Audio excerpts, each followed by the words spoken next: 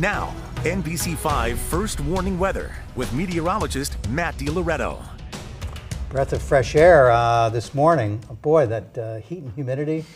Uh, it was stubborn for a while. Oh, boy, you're not kidding. And uh, to the south, though, they've had it a lot it's, worse. Yep. Southern parts of our viewing area. And it's still going on Ugh. right now.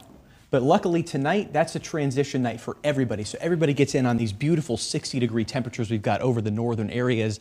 A lot of 60s on the map. In fact, almost everybody aside from Waterbury and Brookfield, Topsham, and even Thetford into the 60s right now because of all the clouds we've got. Still 86 in Lebanon, 85 in Springfield.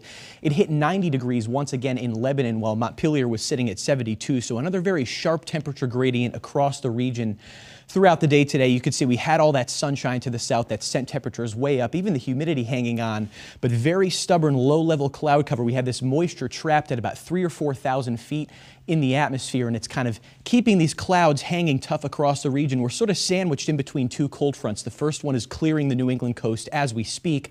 High pressure builds in tomorrow and starts to eat away at this uh, stubborn low level cloud deck, especially by the afternoon.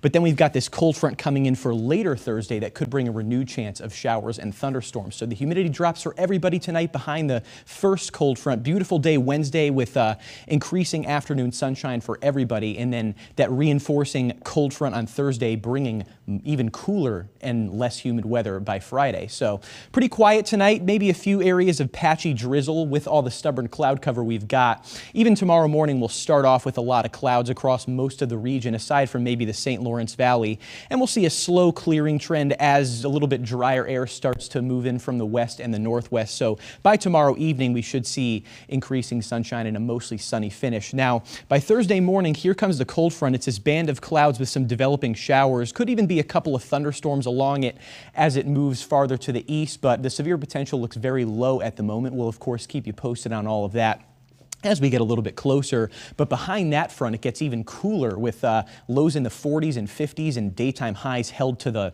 low to mid 70s. So that's going to feel even more comfortable than the weather we've got out there now. So dew points also are going to stay comfy through Wednesday. Everybody gets into the 50s overnight tonight and throughout the day tomorrow. It's a nice comfortable day with a mix of sun and clouds and temps in the 70s. Humidity briefly spikes up a little bit by Thursday afternoon. Our dew points back into the mid 60s, but nothing like the oppressive levels we've been seeing over the past couple of days.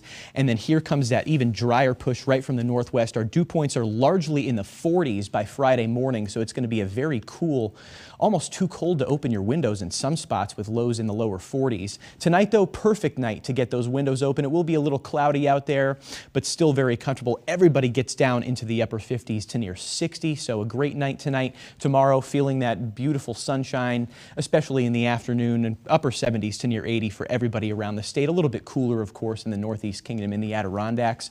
Great day to get out on the lake on a paddleboard or kayak, not so much for sailing as there won't be much wind to kind of move things around. Wave heights will not be an issue. Because of that, water temperature in the 70s, and then a couple more showers and storms Thursday afternoon. Beautiful and refreshing Friday, 75 degrees, and then that beautiful weather pretty much lasting throughout next weekend with highs in the upper 70s to near 80 and a lot of sun. Stu, Alice?